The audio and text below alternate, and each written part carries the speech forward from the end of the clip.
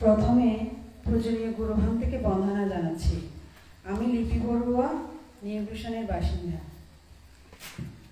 আমাদের বৌদ্ধ সমাজের ভিক্ষুদের মধ্যে দুটি দল দেখা যায়, সঙ্গরাজ ও মাততলি। অনেক সময় এই দল, এই দুই দল একসাথে সঙ্গদানে উপস্থিত ও ভোজন করে না, এবং বৌদ্ধ ধর্মের মতে। অহিংসা পরম ধর্ম হলে ভিক্ষু সঙ্গের মধ্যে এই বিভেদ কেন তা সমাজ সমাজ বা কেন মেনে নেয়? আমার কাছে প্রশ্ন হচ্ছে, তথাগত সম্মুখ সম্বদ্ধ কি ভিক্ষুদের মধ্যে দুই ভাগ করে দিয়েছেন কিনা? পূজনের ভিক্ষুর কাছে আমার প্রশ্ন। গুরুমন্ত্রের কাছে।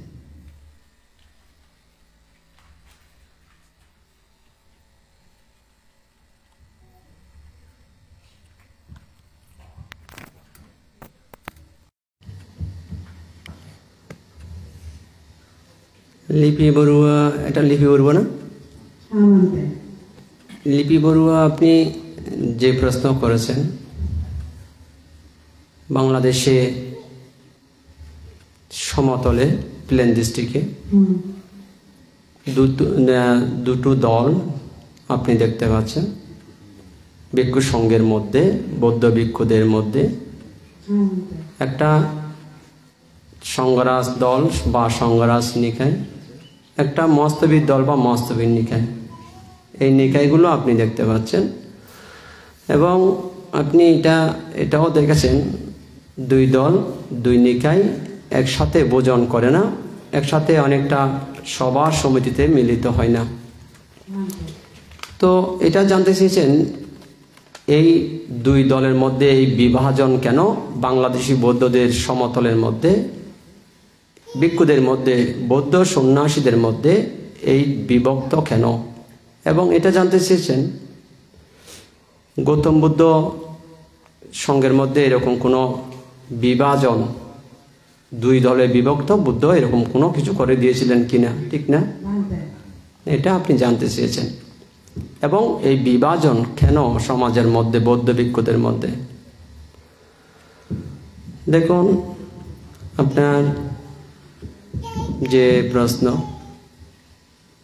আমি আপনাকে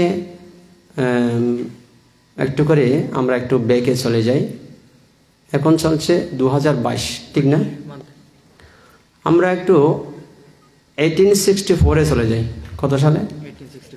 এইটিন সিক্সটি ফোরের দিকে আমরা একটু চলে যাই। এইটিন সিক্সটি ফোরের পূর্বে বাংলাদেশের সমতলের মধ্যে এই বিভাজন ছিল না। যেটা এখানে হিস্ট্রি যা বলছে এইটিন সিক্সটি ফোরের পূর্বে এই বিভাজন ছিল না।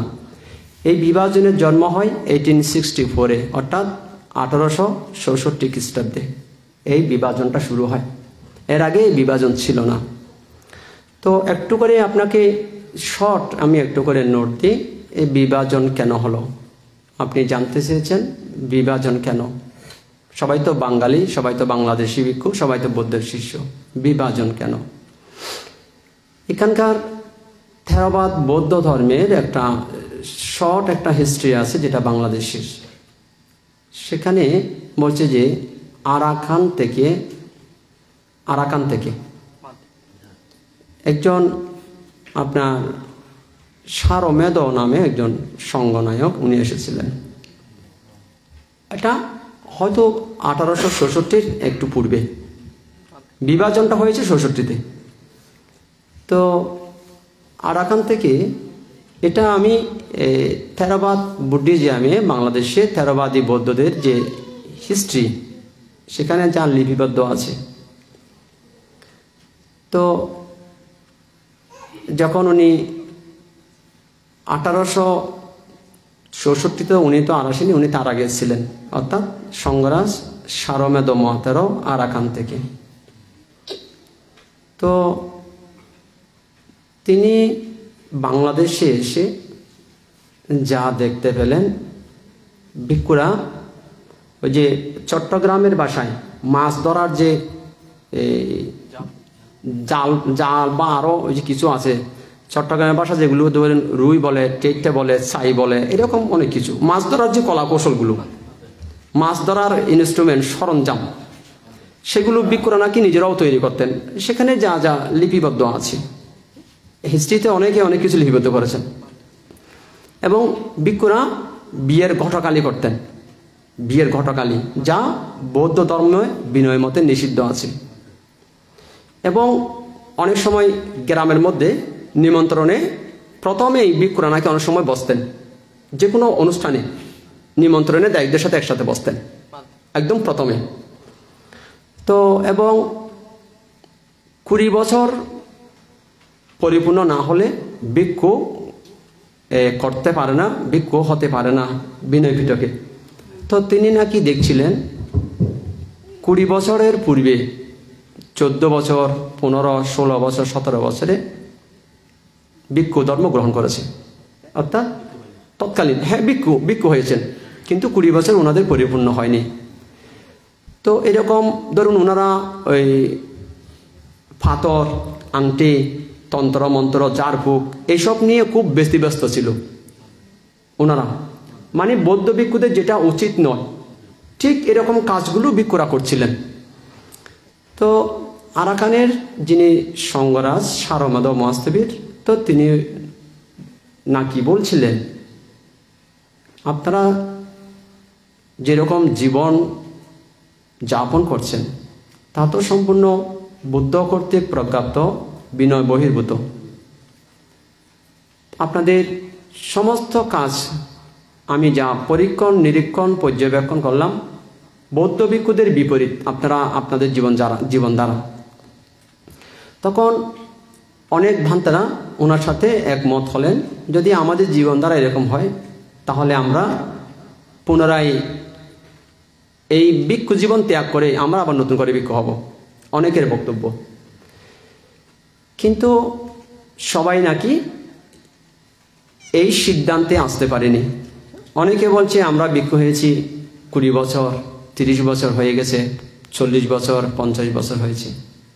আমরা কি আবার কাপড় ত্যাগ করে নতুন করে হব? এই আমাদের পক্ষে সম্ভব নয়। অনেকে বলছিল।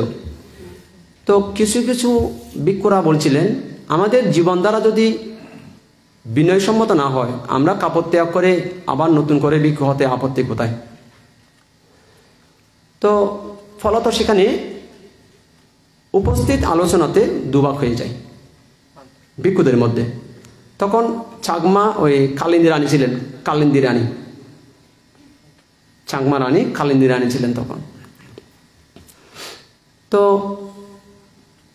এখন সেদিন মহামণি পাহাড়তলিতে হানসার গোনা নামে একটা সরা আছে। হানসার গোনা, মহামণি পাহাড়তলি রাউজান উপজেলাতে।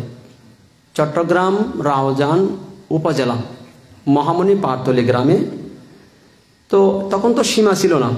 সীমা না থাকাতে ওই ছোট ছড়াতে সেখানে হয়তো মাচাং টাচাং কিছু বেঁধে সেখানে হয়েছিলেন। তো সেদিন সাতজন ভিক্ষু অনেকটা তখনকার ইতিহাস মতে বৌদ্ধ ভিক্ষু ছিল না সবাই নাকি রাউলি পুরোহিত ছিল, যেটা হিস্ট্রিতে যা পাওয়া যাচ্ছে। রাউলি ভিক্ষু। তো রাউলি পুরোহিত আর কি। বলছে, তোমাদের এগুলো তো ভিক্ষু জীবন নয়, এগুলো রাউলি পুরোহিত। তোমাদের ভিক্ষু জীবন নয় এগুলো। তো যাদের মধ্যে সংবেগ উৎপন্ন হয়েছিল তারা নাকি বলছে, তাহলে একটা কাজ করি, আমরা কাপড় ত্যাগ করে আমরা আবার নতুন করে ভিক্ষু ধর্ম গ্রহণ করব। তো সেদিন তাদের মধ্যে সাতজন কাপড় ত্যাগ করে। কজন? সাতজন কাপড় ত্যাগ করে। পাহাত মহামণি পাহাড়তলিতে হানসার গোনা নামে একটা সরাতে ওনারা উপসম্পদা গ্রহণ করে। তো এবং যারা সেদিন কাপড় ত্যাগ করে উপসম্পদা গ্রহণ করেছিলেন তারা ওই সঙ্গরাজ সারমেদ ওনার উত্তরসূরি হয়ে ওনারা নিজেদের নামকরণ করলেন সঙ্গরাজ দল সঙ্গরাজ নিকাই। দেখুন এটা কোথায় সৃষ্টি হয়েছে। এটা তাহলে কি নামকরণ করা হয়েছিল? সঙ্গরাজ দল কিংবা সঙ্গরাজ নিকাই। আর এখন সেদিন যারা কাপড় ত্যাগ করেনি, তাদের সাথে সহমত পোষণ করেনি, নতুন করে উপসম্পদা নেয়নি, বা ধর্মবিনয় বহির্ভূত জীবনযাপন করছিল, তারা এখন এই মহস্তবী নিকাই নামে পরিচিতি হলো, পরিচিত হলো। এখন দেখুন, এটা ছিল এইটিন সিক্সটি ফোরে এখন বর্তমান আমার ব্যক্তিগত সিদ্ধান্ত। তাহলে লিপি বসিকা এখন বুঝতে পেরেছেন এটা কখন এই দলটা কখন হয়েছে? ষষট্টি তাহলে কেন হয়েছে? শর্ট একটু করে বুঝতে পেরেছেন? এই শর্ট উপমাতে? আচ্ছা এবার আমি আপনাকে বলছি, আমি সংগ্রাম নিকাইয়ের পক্ষেও নয় মহাস্তমী নিকাইয়ের পক্ষেও নয়। আমি সংগ্রাম নিকাইয়ের বিপক্ষেও নয় মহাস্তমী নিকাইয়ের বিপক্ষেও নয়। এবার ধরুন এখানে পার্বত্য চট্টগ্রামেও, এখানেও বনবিজ্ঞ আর পার্বত্য এখানেও দুটো বিভাজন আছে। আমি কারও বিপক্ষেও নয়, কারও পক্ষেও নয়। আমি নিরপেক্ষভাবে এটা বলতে চাইছি। ধরুন, সারা পৃথিবীতে বৌদ্ধ ধর্ম বাংলাদেশ বাদ দিলেও অন্য জায়গায়ও আমরা দুটো সেট দেখতে পাচ্ছি। হিনায়ানা মহায়ানা মহাযান আর হীনযান। বাংলাদেশি ওই মুসলিম নিকায়, সংগ্রাম নিকায়। তো দেখুন, আঠারোশো সালে যেই বিনয়ের জন্য যেই বৌদ্ধ শাসনের কথা চিন্তা করে, যেই বিভাজনটা হয়েছিল, আমি বাংলাদেশে যারা বান্তায় আছে, সংগ্রাম নিকায় মস্তমী নিকায়, আমি সঙ্গের প্রতি আমি করজোরে মাতা নত করে আমি সম্মান, শ্রদ্ধা, গৌরব, বন্দনা, আমি সমস্ত ভিক্ষুদের প্রতি এইরূপ সম্মান প্রদর্শন করছি, শ্রদ্ধা, বন্দনা জ্ঞাপন করছি, উভয় নিকায়ের প্রতি। কেবল আমি এটা বলতে চাইছি, আঠারোশো চৌষট্টি সালে যেই কারণে বিভাজন হয়েছিল, বর্তমান সময়ে এসে দেখা যাচ্ছে, সংগ্রাম নিকায় এবং মহাস্তমী নিকায়ের এখন বিভাজনে কোনো গুরুত্ব নেই আর এখন। বর্তমান সময়ে বিভাজন মাতারদলি সংগ্রামদলি এখন বাগাবাগি করাটা, আমি বলব নিরর্থক। কেন নিরর্থক এখন বাগাবাগি করাটা?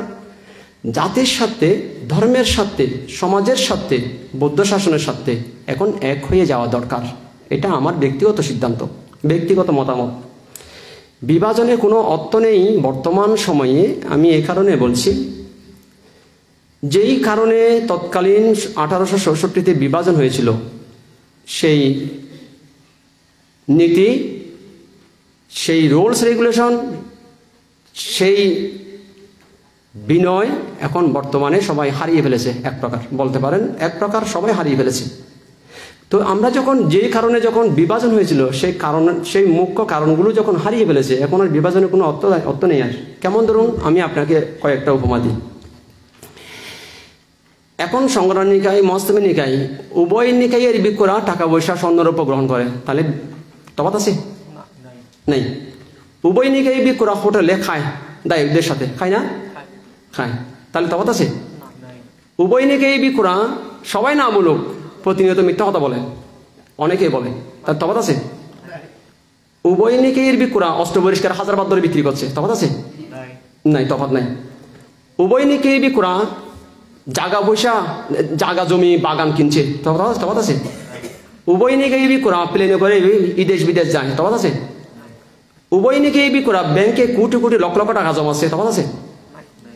উভয় নিকায়ের বিক্ষরাই এখন একই রকম জীবন দান তা আজকে আর বিভাজনের অর্থ কি রইল? বুঝতে পেরেছেন? আজকে আর বিভাজনের কোনো আমি অর্থ দেখতে পাচ্ছি না। এখন বিভাজন, বিভাজনের বেড়া তুলে দিয়ে মানে বেড়াটা, মাঝখানে যে বেড়া আছে, সংগ্রাম নিকায় মস্তমী নিকায় মাঝখানে এই বেড়া। এদিকে সংগ্রাম এদিকে মস্তমী বেড়াটা তুলে দিলেই হলো। বিভাজনের বেড়াটা তুলে দেওয়া দরকার এখন, আমি মনে করি। সংগ্রাম নিকায় মস্তমী আমি আমি তো বললাম, আমি কোনো দলের পক্ষে নয় কোনো দলের বিপক্ষে নয় এখন জাতির স্বার্থে, ধর্মের স্বার্থে, সমাজের স্বার্থে, সামগ্রিক স্বার্থের কথা বিচার বিবেচনা করে উভয় নিকায়ের গৃহী এবং ভিক্ষু এক হয়ে বেড়া তুলে দেওয়া দরকার, যেটা দুই দলের মধ্যে বিভাজন তৈরি করে রয়েছে। নিকায়ের বেড়া। নিকায়ের বেড়া তুলে দেওয়া দরকার। ঠিক না? তবে আপনি যে বললেন, এই বিভাজন এখন কেন? এখন ক্ষমতার লড়াই চলছে। দল বিনয়ের লড়াই নয়, এখন ক্ষমতা। এখন পদের পদের লড়াই, ক্ষমতার লড়াই। এ কারণে বিহারের লড়াই, তো চেয়ার চেয়ার দখলের লড়াই চলছে। তা আমি উভয় নিকায়ের প্রতি সম্মান, শ্রদ্ধা, গৌরব প্রদর্শন করছি এবং উভয় নিকায়ের দায়ক। আমি সবার জন্য এটা বলব যে, বহু কিছু চিন্তা ভাবনা করে এখন উভয় নিকাইয়ের বিক্ষরা হয়তো আপনি বলতে পারেন, বান্তারা লিপি উপাসিকা হয়তো বলেছে যে, এক জায়গায় নাকি একসাথে ভোজন করছে না। দেখুন সংজ্ঞায়ের নিকাইয়ের বিক্ষুরা যদি হোটেলে যদি দায়িত্বের সাথে খেতে পারে মসলিম নিকাই বিক্ষুদের সাথে খেতে আপত্তি কোথায়? ওরা তো বিক্ষু আর হোটেলে তো দায়ক তাহলে সংজ্ঞার নিকাই বিক্ষুরা যদি, এখন যদি বলে আমরা মসলিম নিকাই বিক্ষুদের সাথে খাব না, তো হোটেলে দায়িত্বের সাথে কি করে? কি করে হয়? হোটেলে দায়িত্বের সাথে খায় তা এখন বিক্ষুদের সাথে খেতে আপত্তি কোথায়? তো এখন দেখুন যেহেতু এটা লাইভ চলছে, আমি এখানে কোনো রকম ব্যতিক্রম, বাক্য, ব্যবহার করতে আমার আমি রাজি নই। আমি চাইছি সমাজের স্বার্থে জাতির স্বার্থে বৌদ্ধ সমাজ বৌদ্ধ শাসনের বৌদ্ধ শাসনের স্বার্থে এখন উভয় নিকাইয়ের বিক্ষু এক হয়ে যাওয়া দরকার। এ, কিছু কিছু দায়কদের ইন্ধন আছে তারাও এক হতে চাইছে না। দায়কেরা গৃহীদের মধ্যে আছে কিছু কিছু ওরা এক হতে দিচ্ছে না বিক্ষুদের মধ্যেও আছে। তো এই কারণে এক হয়ে যাওয়া দরকার। আমি আমার অনিচ্ছাকৃত কোনো ব্যতিক্রম বাক্যর কারণে যদি মহাসবিনিকায় এবং সংজ্ঞানিকায়ের কোনো বিক্ষরা যদি আঘাতপ্রাপ্ত হয়, আমি হাত জোর করে ক্ষমা চাইছি। আমাকে লিপি বড়ুয়া প্রশ্ন করেছে বলে আমি উত্তর দিয়েছি। আমি অ্যাকচুয়ালি কাউকে আঘাত করার জন্য উত্তর দিইনি। তো এই হচ্ছে উপাসিকা লিপি বড়ুয়া আপনার প্রশ্নের উত্তর।